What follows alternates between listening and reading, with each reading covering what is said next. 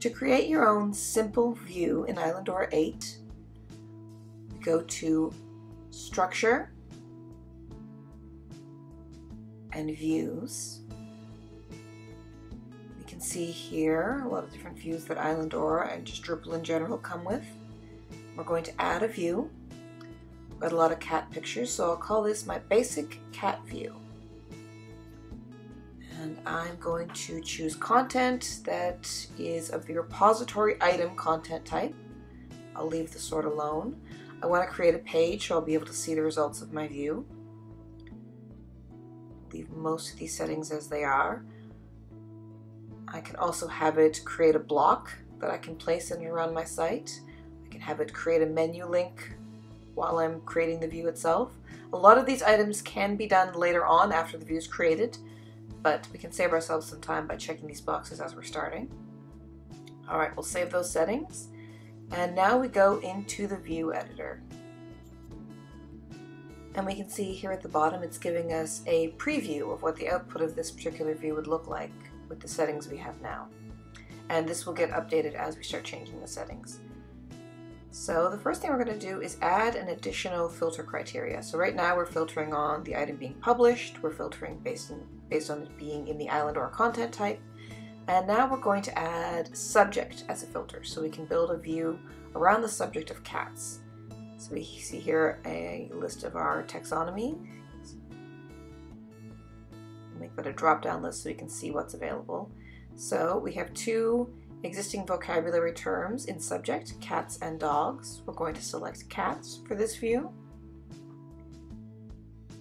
And we will apply that to all displays, which means it will apply it to both the page we're working on now and to the block that's being built alongside of it. And now when we scroll down to our preview, it has filtered out anything that's not tagged with the subject of cats.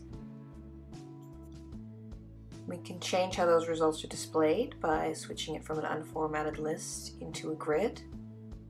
We'll apply those changes. And have a look at the preview of our results. So now we've gone from a long list to a grid view.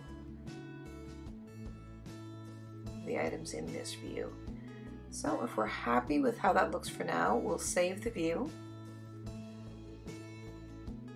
And I'll go back out to the home page because I told you to create a menu item. There's a link right here that I can go to see my view out in the world. Here it is on my site. We also had it automatically create a block. So to place that, we go to block layout and we'll find the section of the page where we'd like our block to appear. Let's put it right in with the main content. So we'll place block and we'll find the custom block that was created for our view. Here's the basic cat view. We'll place that block. We'll leave the logic alone for now, just for demonstration. And let's scroll down and save blocks. And now when we go back out to our home page, we see this block appear. It's got uh, just formatted as a list within the block itself. If we'd like to change that, there's a little shortcut we can take right here to jump right into the view editor. So let's turn this one, just like the page, we'll turn it into a grid view. And we'll change what we're displaying fields to show the content. We'll show the teaser for all of these nodes in our block. a little preview of what that's going to look like. We'll save that block. And since we use the shortcut, it's going to jump us right back to the view. You can see it's here on our home page above the main content, a block with cat pictures. And all of this is powered by Drupal Views.